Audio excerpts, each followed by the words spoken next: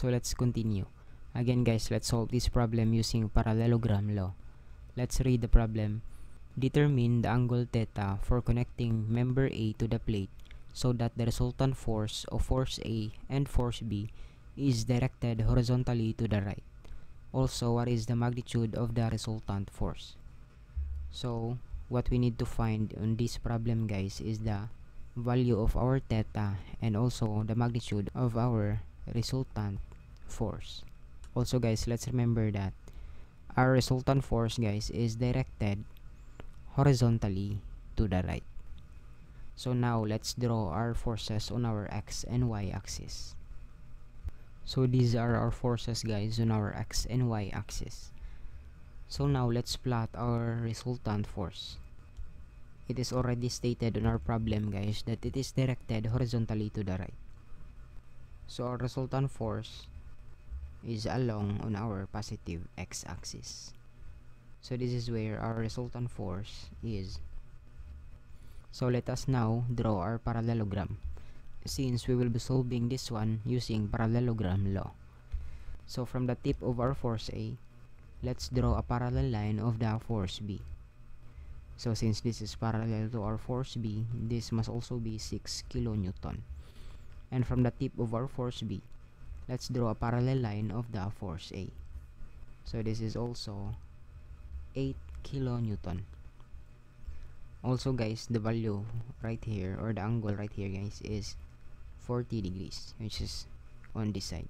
Now guys, we already have our parallelogram. Let us now determine our interior angles since our resultant line is along our x-axis so we can identify the value of our angle right here. Since the value of this angle right here is equals to 90 degrees and we already have our 40 degrees so let's subtract guys. 90 minus 40 that is 50 degrees. So this one right here is 50 degrees. Now guys remember that the properties of a parallelogram guys alternate interior angles are equal. So, the alternate interior angle of this side guys is this angle right here. So this is also 50 degrees. And the alternate interior angle guys of this angle right here is on this side. So they are also equal. Now guys, by looking at our parallelogram guys, our resultant line divided our parallelogram into two congruent triangles. So we can use one of the triangles in order to get the magnitude of our resultant force. Since in a triangle, we can apply the law of sine or cosine to determine its missing values. So let's choose this top triangle. So here guys, so this triangle right here is the same as this one. So let's copy the values. So on this angle, this is 50 degrees this line right here is 6 kilonewton this is 8 kilonewton and let's name this side as our angle B. So first let's determine guys the magnitude of our resultant force. And also guys on this side let's name this as our angle A. So let's get the value of our angle B first. Now guys we'll be using the law of sine. So guys, sine B over its opposite side that is 6 kilonewton is equals to sine 50 degrees over its opposite side that is 8 kilonewton. So our angle B is equals to arc sine 6 times sine 50 over 8. Thus, the value of our angle B is equals to 35.067 degrees. So our value right here guys is equals to 35.067 degrees. Now guys in a triangle its total interior angles guys is equals to 180 degrees. And in order to get the value of our angle A guys let's just subtract angles that we already have. So 180 minus 50 degrees minus 35.067 now we can get the value of our angle A is equals to 94.933 degrees. So we can use this angle guys in determining our magnitude of our resultant force. Now guys, in solving for uh, the magnitude of our resultant force, so let's use again the law of sine.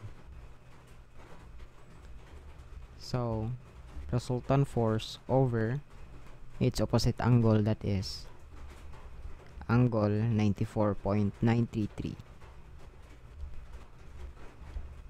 is equals to 8 kilonewton over its opposite angle that is 50 so sine 50 degrees. So the resultant force is equals to sine 94.933 multiplied by 8 over sine 50 thus we can get the value of our resultant force is equals to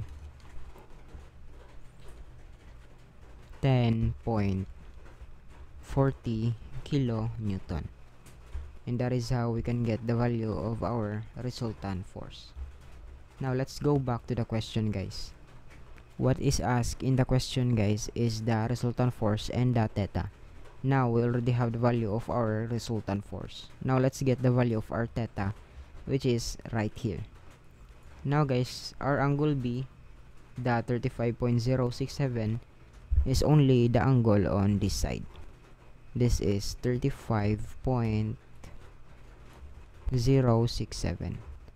067 degrees. So in order to get the value of our theta let us remember that this is a right angle. So that is 90 degrees. And we already have this value.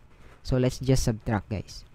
So theta is equals to 90 minus 35.067 so the value of our theta is equals to 54.93 degrees and that is how guys you can get the value of our theta